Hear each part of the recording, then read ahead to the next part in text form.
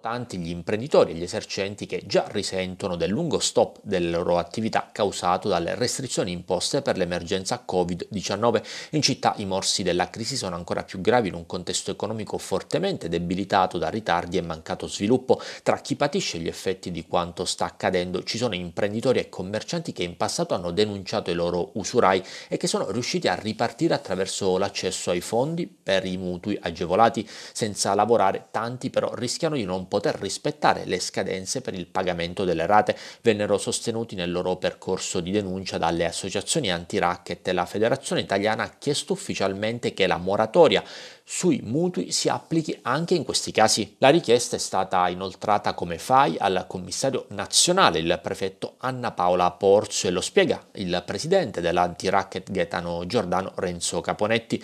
Nel nuovo decreto Cura Italia Vanno quindi previste esenzioni temporanee per chi ha avuto il coraggio di denunciare ma paradossalmente potrebbe perdere il mutuo se non riuscisse a pagare le rate. Molti con le attività ferme non hanno la materiale disponibilità delle somme necessarie. Secondo Caponetti lo Stato deve garantirli. Per gli esponenti dell'anti-racket sarebbe una beffa che dopo aver denunciato chi li strozzava dovessero perdere il mutuo e le loro attività economiche. La proposta è stata accolta e dovrebbe trovare spazio nel provvedimento governativo che verrà reso noto a giorni.